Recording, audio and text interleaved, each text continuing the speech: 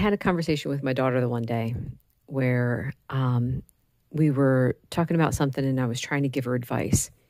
And she's like, uh, but but how do I do what you're telling me to do? And I'm like, you just do it. And she's like, yes, but how how do I do it? And I'm like, I was so confused. I'm like, well, what do you mean? How do you do it? You just do it. So for her, she's looking for like she the example she gave me is like um, let's say there's a rock and you know I, I need the rock to be moved and you tell me you just move it. She's like but i need to know what technique to use to move the rock. She's like just telling me to move it isn't enough. Like do i get some ropes and move it? Do i get a crowbar and that's how i shift it? Like what technique do i use to move the rock and I thought that was kind of interesting because in my mind, I already will have an idea of what I'm going to do. So I'm, you know, I, I guess I jump from A to C, but I forget, you know, that someone actually might need to know what B is. So this made me think about um, sticking to the diet. You know, it's people are like, "How in the world do you stick to the diet?" And I'm like, "Just by sticking to it. That's that's how I do it." So there, I jumped from A to C without giving any kind of technique. But when I think about it, there are techniques that I have used to help me stick to the diet. So, coming from a Christian perspective, there is the number one technique is praying. so, that's um, God created this body, He knows what I need. And if I want to have, you know, an easy road, I'm going to pray and ask him to guide me to help me eat the things I need to eat. So that's one technique. Second one is um, when I first started this, I didn't have any set number in mind. In other words, I didn't have a goal weight I was trying to get to. I didn't have, I'll try this for 30 days. Those were not part of the plan. It was, I'm just going to go. I'm going to start tomorrow. I remember this was on a Tuesday night. I'm like, I'm going to start tomorrow. And it was actually a Wednesday. First thing in the morning, I'm going to have a keto breakfast. And that was the only plan that I had. That was, I was just going to try it. I didn't have any thoughts beyond that. It was just first meal, get the first meal nailed down, and then we'll think about the next one. And then I had the lunch, and then I had dinner that day, which was interesting to me. I uh, yeah, it, it's not an accident. Um, I chose to start the diet on a day that was my niece's birthday. So we were going to be going over to her grandmother's house, and there would be cake. And I was sure that there was going to be other things. And I'm like, well, this will be fun. But it was interesting because, like, the entire night, I'm like, well, let me just avoid the food for now. That idea of for now really helped so it's like, it's not like I'm depriving myself forever. It's just right now, I'm not going to have those things. And I made it through the whole night. I made it through the whole first day. And then I just kept going the next day. Next day, it's like, just let me keep making the right food choices and keep going from there. So that's that's another technique is don't focus for now on the long term. Just focus on the next meal. If you go off track don't have this idea of, oh, well, I'm going to have to fast to um, get myself right again. No, no, no. Just eat your next meal what it should be. That's it. And this is also why I say, like, I know that there's a lot of people out there who have a goal weight. Well, I'm going to, I, I want to get to this goal weight. When you get to that goal weight, you're probably going to look down at your body and say, I can stand to lose another 10 pounds. Um, so to me, it kind of messes with your mind a bit because it's like, you see yourself as being restricted until you get to the goal weight, and then suddenly you're free from prison. And now maybe you can start having some of the things that you've deprived yourself of all this time. But that's another technique. The um, so get rid of a goal, get rid of the goal weight. Just plan on one meal at a time, today, tomorrow, the next day. That's it. This is how I live now. So even if I got to a weight that I have in mind is a good weight for me, that's great. But don't have it as that's my that's the finish line. The finish line is when you die. This should be for the rest of your life.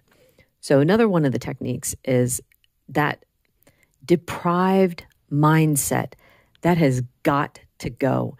If you are going to have any kind of success eating this way, you have to get it out of your head that you are being restricted and deprived. So I've had that a few times. I've battled that a, a few times during this journey. And I got to tell you, the first time it came up was three weeks in. I had been on the diet for three weeks and I was watching my daughter get a bowl of ice cream. And I just was like, oh, would be nice if I could have a bowl of ice cream. And I'm like, wait a minute. No one's making me do this. I am the one who chose to change my diet. So I'm not being deprived because I can't have the ice cream. I choose not to have it because of what it will do to me. And that's the better attitude. Now, you might not have any health issues when you eat sugar or wheat. Um, my oldest daughter's like this. She will avoid those things because it's not part of, you know, what she knows she should eat. But she doesn't have any health issues from it. She could eat those things and not have any problems except for weight gain, right?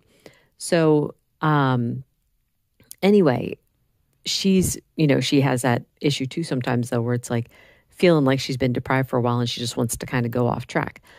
But that is an absolute trap. You have to get rid of the deprived and restricted mindset.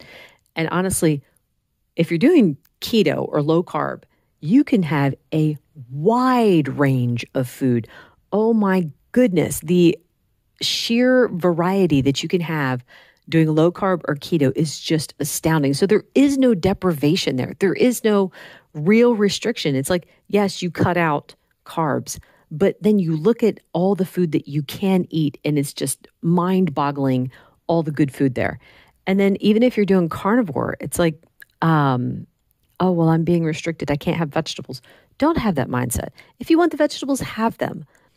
Anyway, one of the things that really helped, especially in the very beginning, was having things go into the freezer that I, it's like, oh, I really wanted to have this dessert, but I can't because I'm doing this diet, I'm doing this way of eating. And I'm like, well, you know, maybe later down the road, I can give it a try. So I would package things up and put them in the freezer. And then, like, so I, I didn't feel like I was depriving myself because I put it away for later. And then I would forget about it.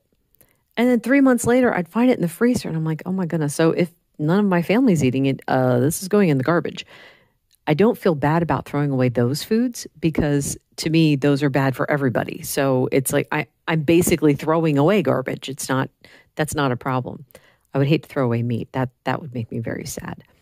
But anyway, that was one of the things that helped me get over that idea. And I'm at the point now where I don't want sugar at all because anytime I see it, I automatically remember what it did to me over the summertime. Um, the cold sore that I got in my nose, the way I felt like I had a bad sinus cold for like three days. I'm like, now, will that happen with any treat, with any sugar treat that I have? I have no idea, but I don't want to take any chances.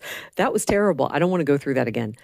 Um, so I mean that that helps to remember that, and that would be good for you to remember too. It's like I see people in the groups who will say, "Oh man, I had a cheat for a couple days. You know, I had like several things I shouldn't have had, and now I'm paying for it." And it's like they'll be kicking themselves, and I'm like, "Okay, but you can only kick yourself for so long." But then say to yourself, "Well, that was a good experience, and that I need to remember that moving forward. That's another technique. Remember how it made you feel. Write it down if you have to. So I wish I had written it down because um, my aunt had made this um, fruitcake uh, last holiday season. And I she wanted to give me some because I I am one of the weirdos who actually likes fruitcake, especially fruitcake that's made really well. So you know, she had told me she made it. She said it turned out really good. I'm like, I would love to try it. So she gave me some and I put it in the freezer because I'm like, some future unknown date, that's when I'm going to have it. So it was about three months later. I'm not even sure if it was three months. I can't remember. Anyway, when I did end up having it, it was that reaction again where it was within a couple hours, I could feel a cold sore forming in my mouth, in my nose, and the sinus issue started up. And I felt like that for like three days. Now, I didn't write that down. I should have. I should have written it down somewhere, but I didn't. And then when my birthday came along several months later, I had the sugar and I had the same exact problem. So, oh my goodness, you know, write it down. When you have a cheat, write it down and put it up somewhere so that you can see it and it will stay fresh in your memory so that you don't forget. Anyway, I think I've rambled long enough. Thank you so much for listening. Let me know if there's any techniques that you have tried that worked for you. Um, I mean, this is, we need to help each other. There's times I still struggle, so I would love to hear what other people do too. Thank you so much for listening. Bye bye.